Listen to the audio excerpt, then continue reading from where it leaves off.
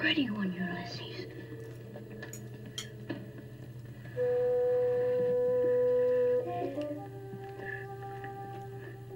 There it is.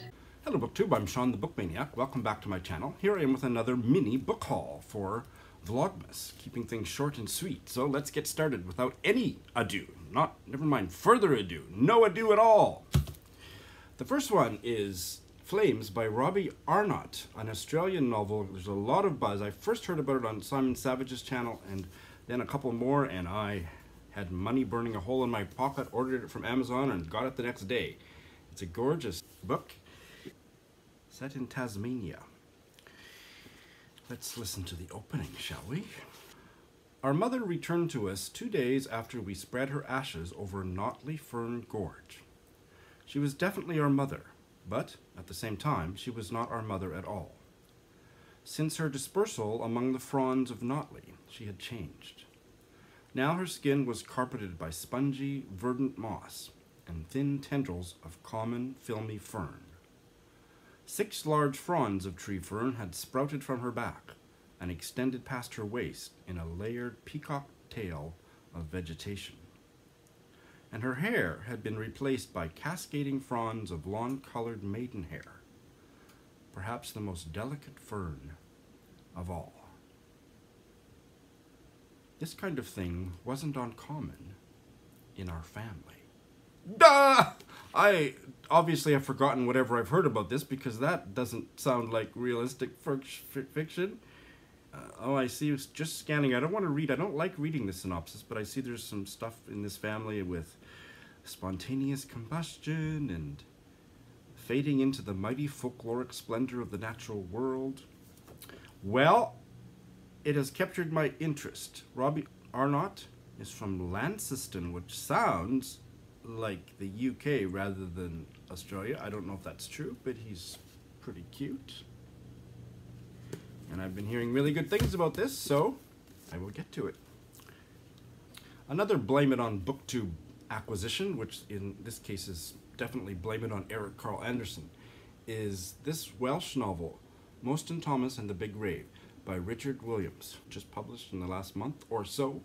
And it's about a Welsh farmer in Pembrokeshire on the brink of bankruptcy who decides to host raves in his barn or his Quonset. That captures my interest, and I'm really getting into Welsh literature. So let's hear how the first paragraph of this. Cleddau. What? Cleddau. Okay, well, I checked the Welsh pronunciation, so I'm going to do my best with this one place name in this paragraph. But notice how different it sounds if you're not a Welsh speaker to how it's written.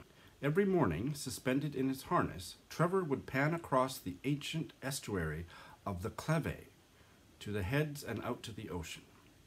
On a calm, clear day, the rising sun would beam through the clouds of mist that hung over the water like sleeping ghosts, then explode into the thousands of fibers and textures that existed on the shores. Well, I'm doing this as a buddy read in January, this Japanese novella, Snow Country by Yasunari Kawabata. And I'm ashamed, well, I maybe don't blame myself entirely for forgetting the name of Richard's channel because he hasn't put up a video for a half a year or more but he's a buddy of mine, and I can't remember the name of his channel anymore. It's something Richard or whatever. I'm I'm sorry, Richard, but uh, uh, I've done a few buddy reads with him, and uh, looking forward to doing this one. And the opening sentences don't have any standalone vitality, so we'll leave it at that.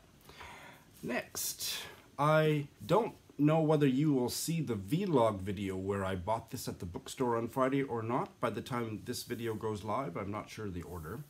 Regardless, I'll quickly mention I bought this the other day. Small Country by Gaël Faye. And this is a novel set in Burundi and Rwanda, newly published this year in translation, translated from the French by Sarah Ardizzone, 2018 translation, 2016 novel.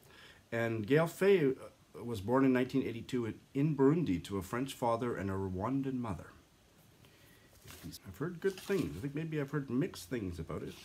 And again, there's nothing of a standalone uh, interestingness to the opening lines, but uh, page 112 was wonderful, which is why I bought it.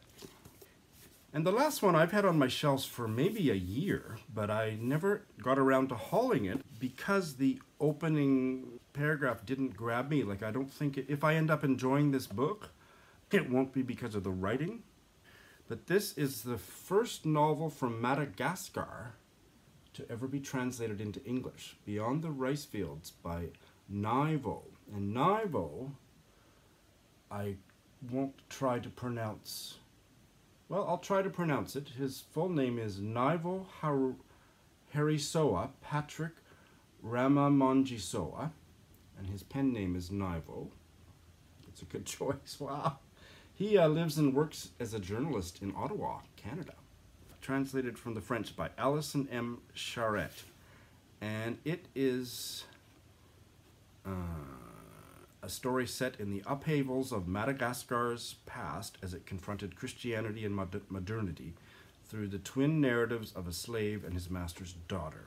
I think I heard about this from Russell of Ink and Paper Blog's channel and ordered it. Haven't got to it. It's a chunkster, 350 pages, and I'll let you know how it goes. I've had that one for quite a while. So, that's my five book book haul. Have you read any of these? Which of these would you be most likely to pick up? Thanks for watching.